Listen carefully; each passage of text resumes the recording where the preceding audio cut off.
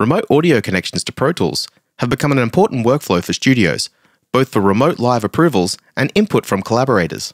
With Aux I/O, you can now send audio directly to Zoom or streaming audio tools such as Teams, OBS, and other conferencing software while retaining your normal playback engine. In this video, we will look at Zoom specifically. Sharing a screen with system audio in Zoom can be useful, but the audio may drift over time. Aux I/O provides you with a much better option to route your audio to Zoom.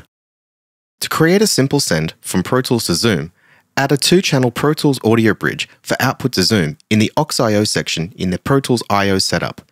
You can rename this for easier assignment. Make a send to Zoom either from a cue mix or off your main subbus. Using a send gives you the ability to change the level to match those required for the conferencing software without affecting your mix.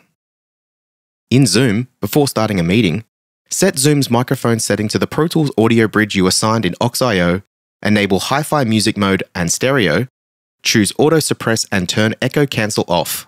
When joining the meeting and connecting audio, turn original sound to on. At this point, you will be able to stream your audio from Pro Tools directly to Zoom. Assuming you're not going to use a separate computer or phone for speaking, you will need to create an input in Pro Tools to use a mic. In this example, we'll be using the built-in laptop mic. To do this, we'll need to first enable the mic in the Aux I/O section of the Pro Tools I/O setup, then create a new Pro Tools track with the mic as the input and assign it to the same send being used for the Zoom in.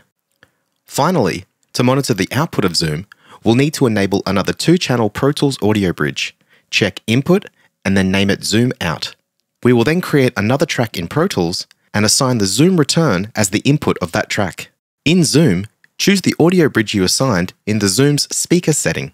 The output of this track can now be assigned to your monitors or to a cue.